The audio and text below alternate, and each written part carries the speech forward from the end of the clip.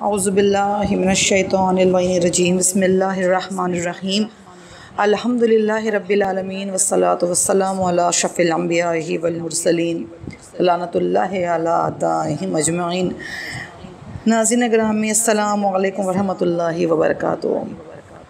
مارکہ کربلا میں ہر رشتے کی بنیاد اور ہر رشتے کی پرکھ کا جو سبق ہمیں ملتا ہے اور جو مثال ہمیں ملتی ہے، اس کی مثال رہتی دنیا تک ملنا ناممکن ہے۔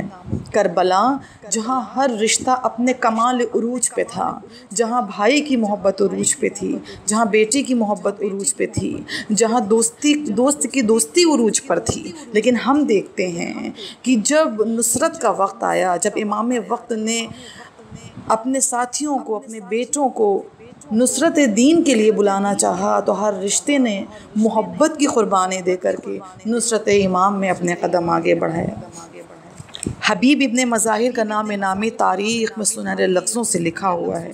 حبیب ابن مظاہر مظلوم کربلا کے حقیقی دوست ہیں اور مظلوم آقا سے حقیقی محبت کے دعوے دار ہیں اور حبیب بچپن سے مظلوم کربلا کے دوست ہیں۔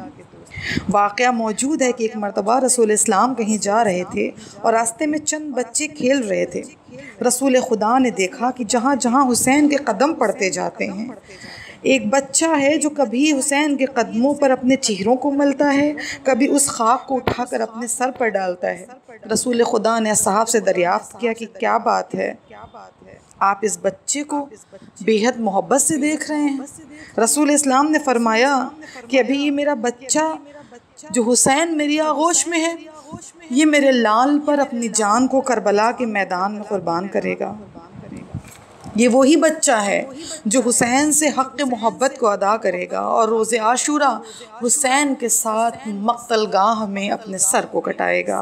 ہاں عزیزان گرامی، ارباب ازا یہی حسین کے ساتھیوں میں ایک ساتھی، ایک دوست کا نام حبیب ابن مظاہر ہے، جس نے بتایا کہ دوست سے دوستی میں اپنی وفا کو نبھانا چاہیے۔ تاریخ کربلا شاہد ہے کہ حبیب ابن مظاہر کا سن کربلا کی جنگ کے وقت صرف اسی برس کا تھا۔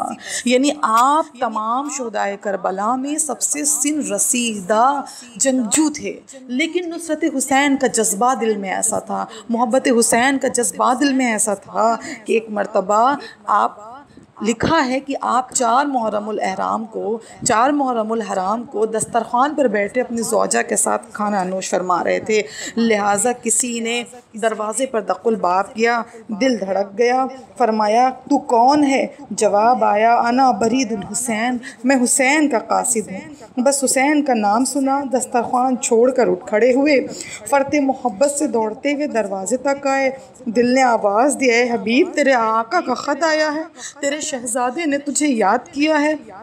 ازاداروں فرت محبت سے حبیب کا دل دھڑک رہا تھا۔ قاصد سے خط کو لیا، کئی مرتبہ خطوں خط کو چوما، آنکھوں سے بوسا دیا۔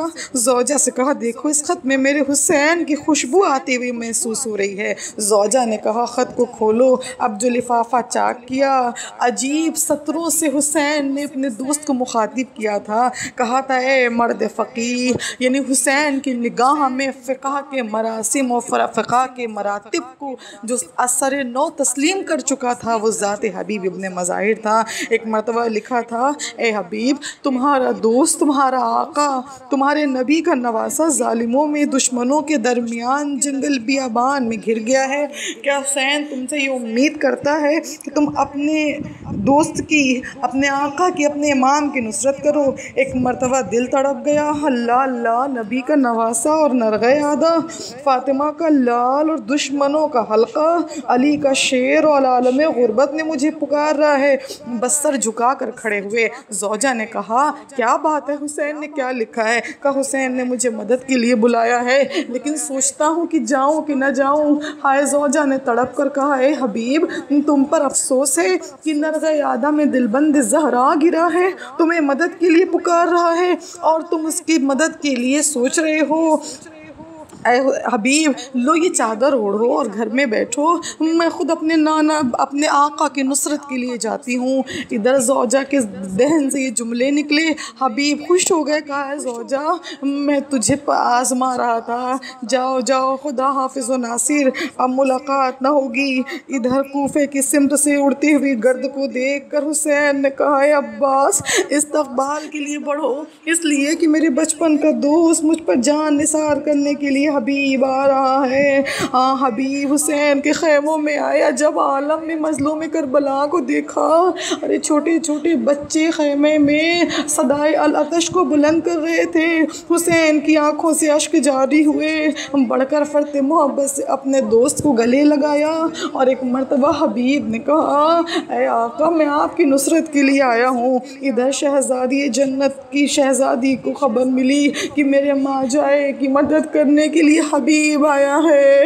ایک مرتبہ فضا سے کہا، اے فضا، حبیب سے کہو، زینب تمہیں سلام کہتی ہے اور تمہارا شکریہ ادا کرتی ہے کہ اس عالم غربت نے حسین کی مدد کو آئے۔ ارباب ازا جیسے ہی سنا کہ زینب نے سلام کہا ہے۔ ایک مرتبہ زمین گرم پر بیٹھے، منہ پر تماچے مارے۔ اللہ بھی وقت آ گیا ہے کہ شہزادیاں سلام کہلوائیں۔ الغرت حسین سے رخصت چاہی۔ ارے فرما کے چھاتی سے لگایا کئی باری۔ رخصت جو کیا آنکھوں سے آنسو ہوئے جاری۔ گھبرا کے در خیمے سے زینب یہ پکاری۔ لوگوں کہو میدان میں چلی کس کی سواری۔ اب کون بچائے گا شہ جنوں بشر کو۔ سب چھوڑے چلے جاتے ہیں زہرا کے پسر کو۔ حبیب رخصت ہو کے میدان میں آئے۔ قدم حسین پر اپنی جان کو فدا کیا۔ میدان سے صدا دی۔ آقا غلام نے جان نثار کی۔ اللہ لعنت اللہ علی قوم الظالمین۔